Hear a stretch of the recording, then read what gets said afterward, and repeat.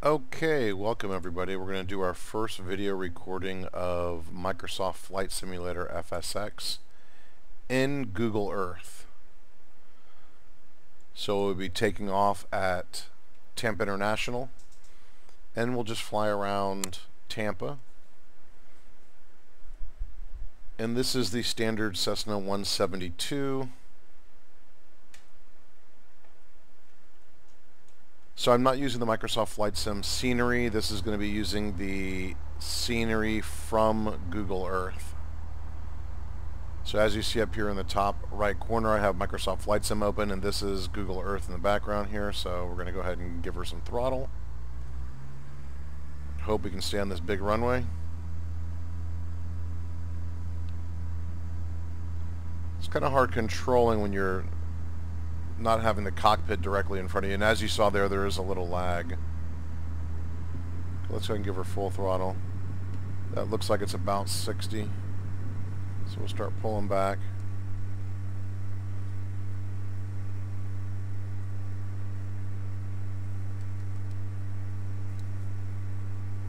And as you see from these 3D buildings in Google Earth, this is just by far, I think, the absolute best scenery that could be in Microsoft Flight Sim. Look at all the cars on the roof of the airport there.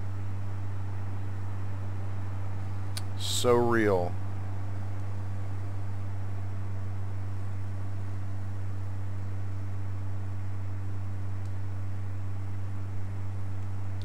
So everybody, I'm Kevin from iFlightSim. I haven't done a lot, but I've been uh, doing flight sim stuff for probably the last 20 years.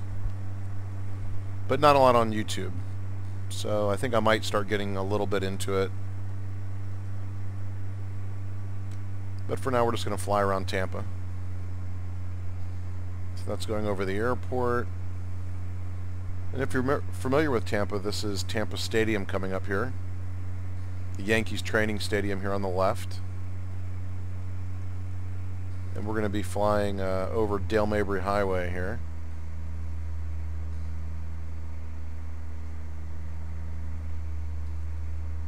As scenery goes, this is just incredible for Microsoft Flight Sim. I wish there was some way that Prepar3D or even X-Plane 11 could uh, get together with them and get this going in Flight Sim.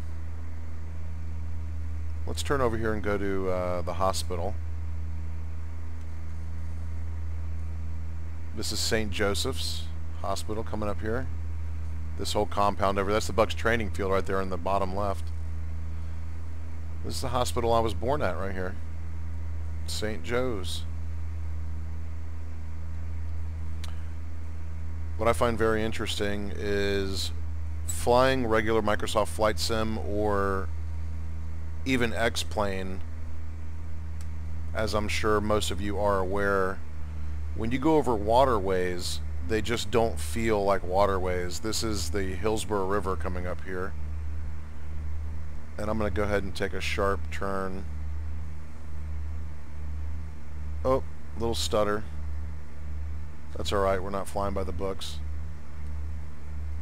But this really feels like we're flying over the river. I've never had this feeling before in any flight sim.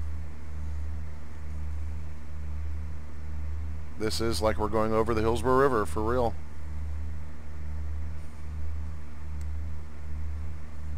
It's just amazing, amazing scenery. This is uh, coming up right here over this bridge. That's Columbus Bridge. On the right here, that's uh, Ricks on the River. Right there, all those docks on the right-hand side.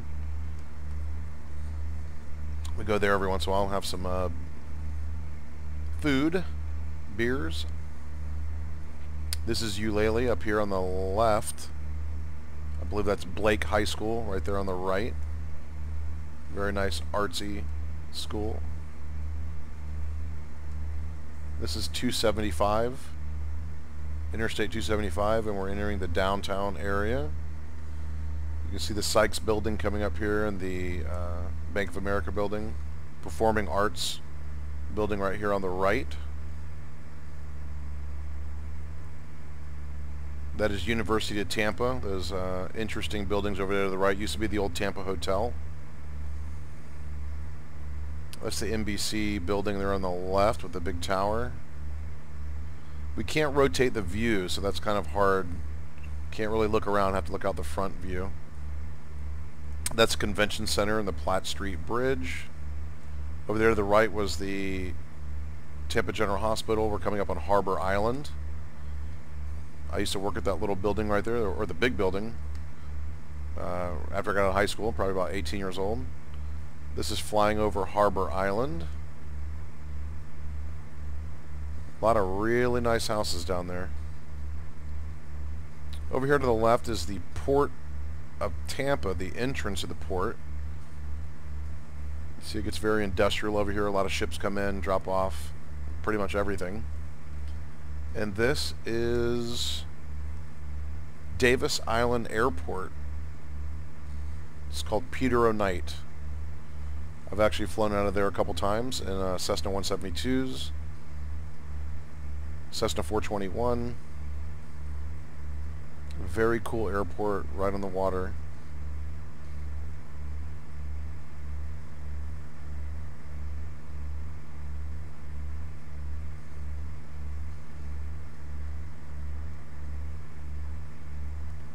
Little beach down there you can go have picnics. It's always nice. Now the one problem with this is that when you're flying the simulator, trying to land at one of these airports that are on Google Earth, it gets a little squirrely. It will work, but it's not really synchronized properly. So the airport in Microsoft Flight Sim and the airport at Google Earth, even though everything seems to be almost exact, the altitude seemed to be a little bit off from the spot where the plane touches down its wheels. So we'll go ahead and slow down here and we'll go ahead and try to land at Peter O. Knight. You can see up here in Flight Sim I can turn a little bit and try to look. Let me see if I can see in Flight Sim. Line up on the runway. I don't know exactly what runway that is, but we're going to go ahead and give it the first stage of flaps. I'm going to come in a little hot and hard but we'll try it out.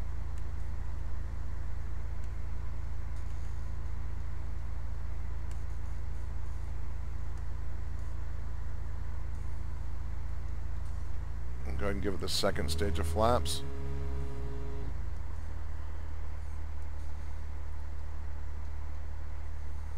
Coming in a little fast, but that's alright.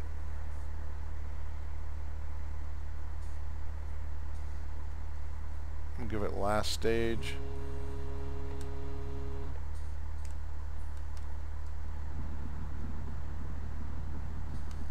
See that bouncing? You can see the top right corner, Microsoft Flight Sim is on the ground. I actually was watching the runway on the Google Earth side. I should should have been watching the runway at the top on Microsoft Flight Sim. Well, we did it. I'm going to break here. Uh, I don't really have to stay on the runway.